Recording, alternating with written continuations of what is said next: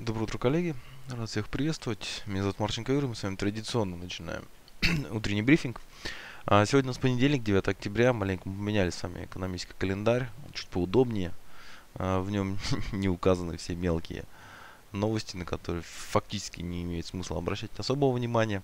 Ну а также э, с этого понедельника, вернее не с этого понедельника, а так как сегодня понедельник, мы проводим большой обзор а, мероприятия. Это вебинар, который начнется в 13 Москвы, по московскому времени, естественно, да, продлится час. На этом вебинаре мы а, подведем итоги недели. А, будет разбор сделок моих, разбор сделок учеников. А, также посмотрим, что из экономического стоит следить на этой неделе, то есть за какими новостями.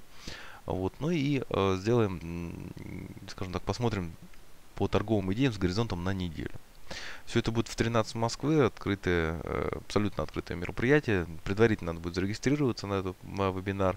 Э, зарегистрироваться можно на сайте trading-floor.net.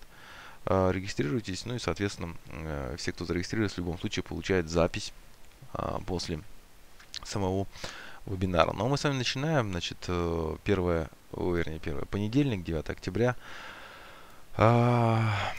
Выступление президента Марио Драги. Значит, ну, здесь, э, надо сказать, не то, чтобы это выступление, да, там есть заседание Еврогруппы, поэтому э, в рамках этого заседания Еврогруппы э, Марио Драги выступит какой-то речью. Э, вот она, эта встреча, да, по времени не определено, но приблизительно, приблизительно э, э, рядом, скажем так, ну, в районе часу, наверное, Москвы. Да, то есть, скажем так, после обеда а, в еврозоне.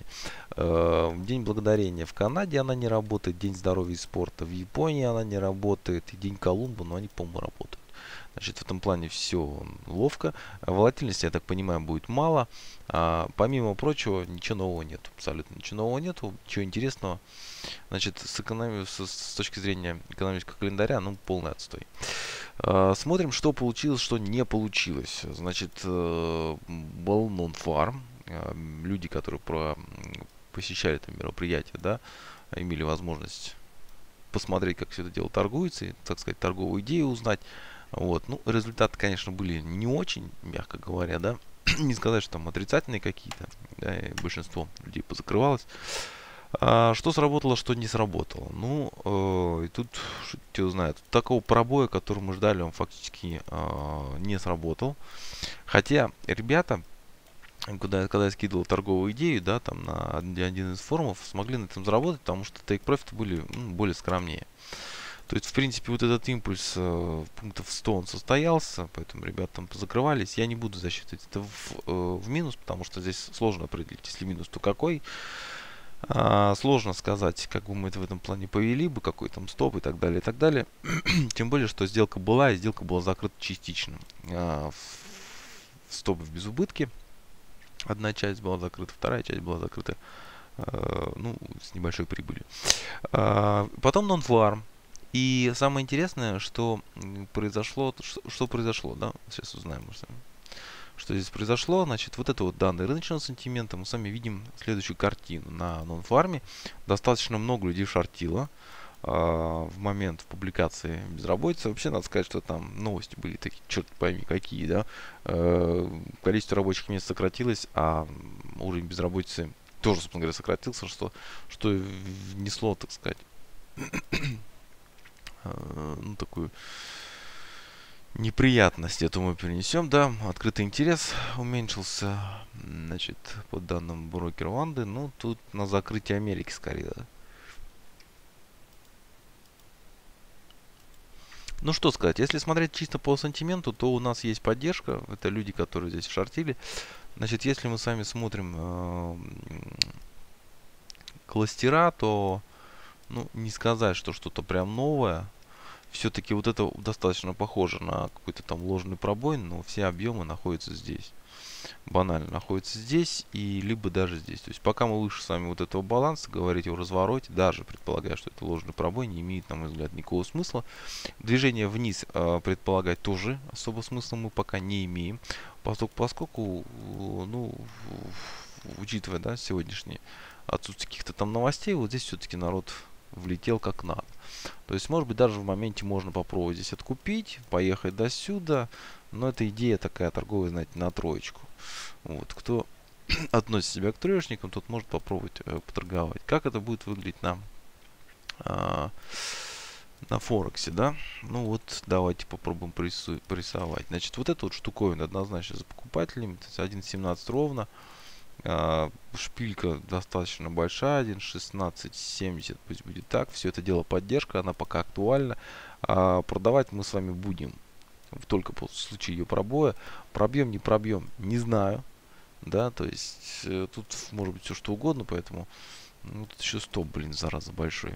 А, наша цель а, по росту это 1.1762. Вот, 1.1788. Складывается впечатление, что больших движений нам ждать не приходится. Вот, поэтому если мы вдруг откатим и нарисуем разворот, паттерн на разворот, да, разворот внутри дня, как я это э, уже говорил, то мы, собственно говоря, имеем право здесь откупить. Но, блин, здесь большой стоп реально. А хотя что большой? 30... 30 пунктов, ну пусть будет, да, то есть стоп ставим за хай, э, покупка, надо понимать, что это сделка против тренда, поэтому э, она этим и опасна, собственно говоря. Все, будет другого ничего не сделаешь.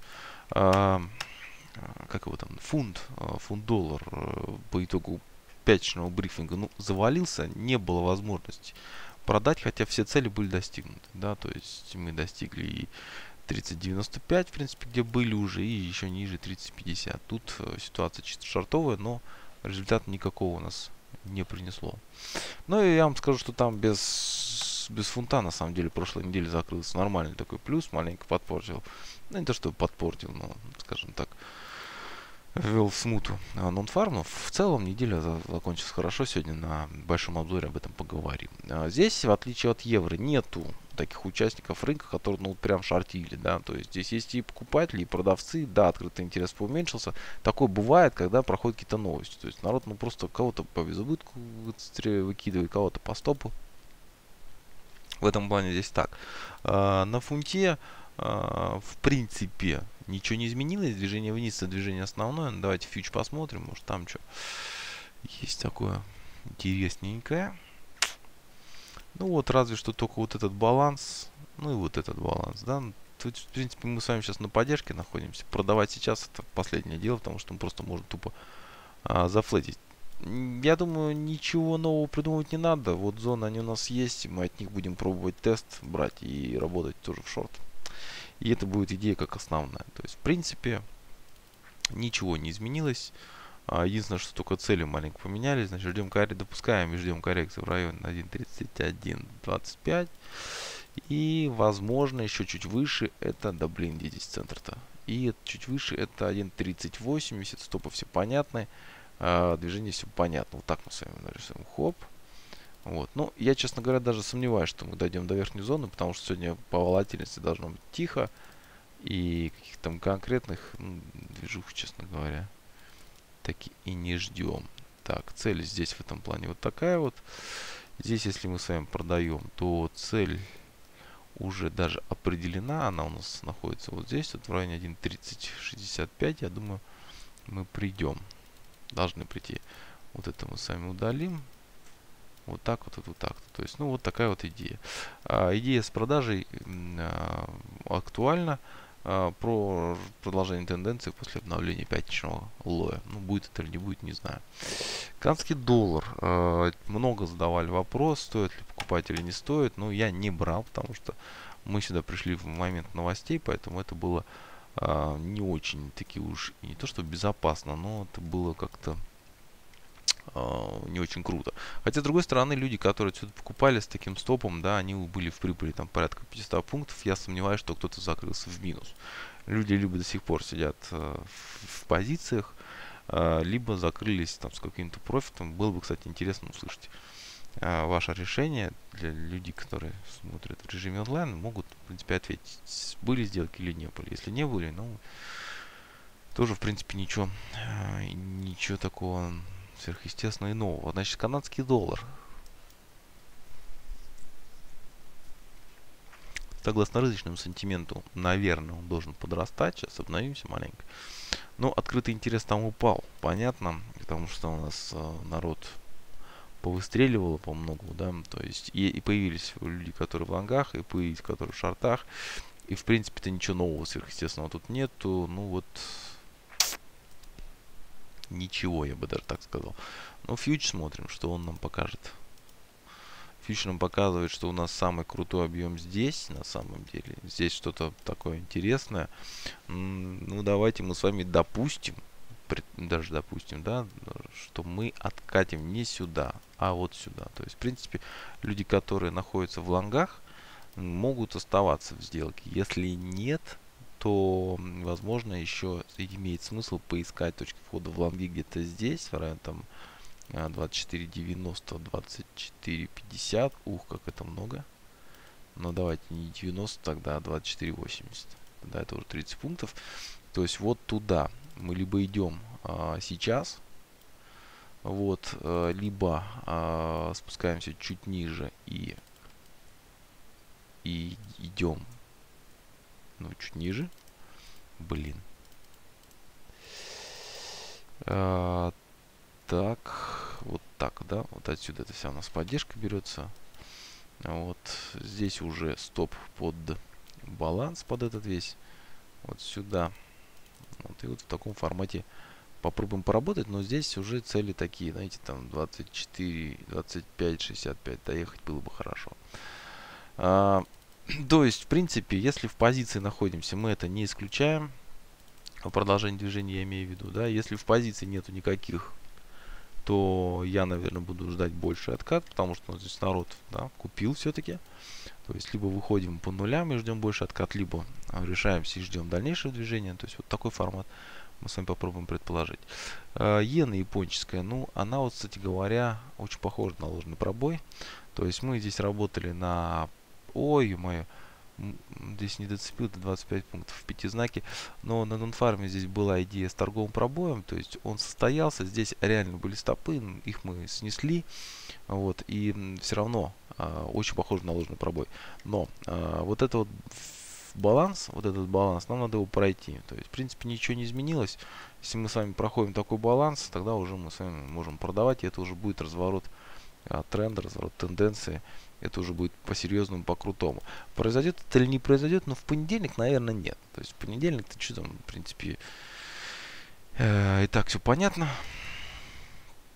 Да, там зачем там так, смотрим, что он в сантименте, то есть, в принципе, э, задача ложного пробоя справился, то есть у нас здесь есть застрявшие покупатели, наверху и застрявшие продавцы, люди не знают, что чем всем заниматься, вот, и все, стопов нету, стопов нету, ничего нету.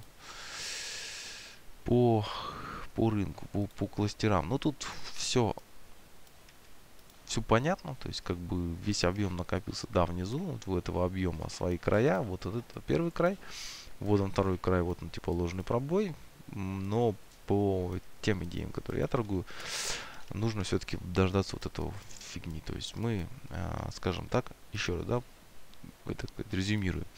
Пока мы э, выше отметочки э, 112 ровно, да, то есть, да, точнее даже вот этого баланса говорить о лонгах не надо о, о шартах нельзя.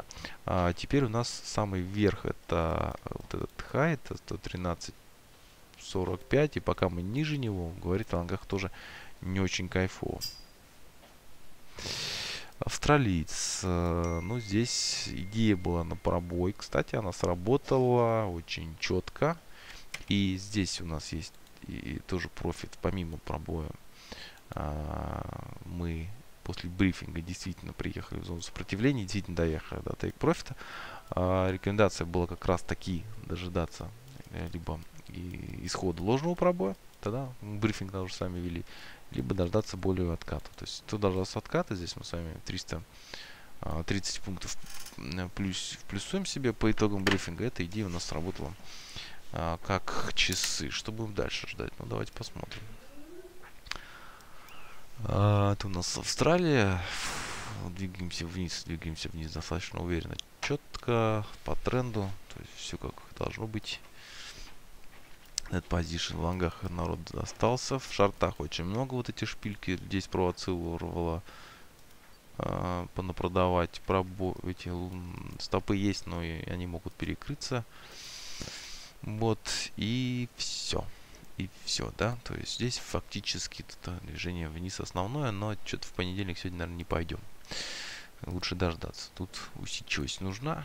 Стопов нет, пробоя нету. Ну вот он хай. О, вернее, вот он самый большой объем. Да, мы можем туда вот корректироваться вплоть до сюда, в принципе. Вот, вот до этих вот кластеров. И там попробуем, вот даже до этих кластеров. И там попробуем поискать точку в шорт. То есть мы сегодня предполагаем откат откат вверх. Главное зацепиться достаточно выгодно в этом плане. Э, по ценам это находится у нас примерно здесь. Хай этого отката это 78.40, 78.15. Это достаточно большая, ой, достаточно большая зона, такая объемная. поэтому мы выше оказаться в принципе не должны. Но предположим, что мы до туда откатим. Оттуда туда откатываем, чисто статистически, да, и оттуда а, продаем. Первая цель это текущая цена 77.75 и 77.55 тоже в принципе неплохая цель. Здесь понятно куда стоп. Стоп не позиционный, стоп такой более-менее локальный. То есть, в принципе, для позиционного нам надо вот это вот пройти, чтобы уже говорить о каком-то ложном пробое, каких-то там движениях восходящих. Пока этого нету. А, рассматриваем шорт и а, стопы такие локальные. А, что там, навозил, он заваливается, зараза, и не дает теста никакого. Фактически, ну, мы были чересчур осторожны. Вот, что стоит сейчас? То есть у нас, в принципе, в таком падении народ только и покупает. Что и знает, что делать, что так это покупать. Ну, давайте посмотрим, что он там у нас... Ну да, народ много покупает, в основном покупает и с брокера IGG какого-то 72% купленных, да, MyFXBook, ребята, профессионалы, все в лангах находятся. Кто-то сказал, что на MyFXBooks публикуются только профессионалы. Да ладно. Чего ж они против тренда тогда все прут? Открытый интерес уменьшился, надо что-то ждать. Лучше ждать, но в принципе идея тоже может сгенерироваться. То есть фактически у нас вот фьюч... О! Мне вот эта вот штуковина нравится. Вернее, не столько нравится, сколько настораживает. Огромное количество положительных дельты. Это не значит, что здесь зашел покупатель, но она интересна. Да, это может быть и банально там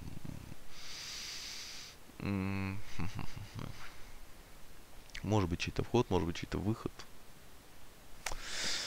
Да. И что самое-то интересное, это весь объем на самом деле здесь не копится пока. Поэтому если уж откат, то только аж сюда. Поэтому, ну, наверное, лучше здесь реально ждать, ничего не делать, ничего не предпринимать. То же самое относится к Франку. А, очень похож на ложный пробой, но нужно пройти важные объемы пока такие не видно в стороне. Золото, значит, э, тоже нон-фарм организовал похожую вещь на ложный пробой. Так это или не так, покажет, конечно, безусловно, время, но мы с вами попробуем заглянуть.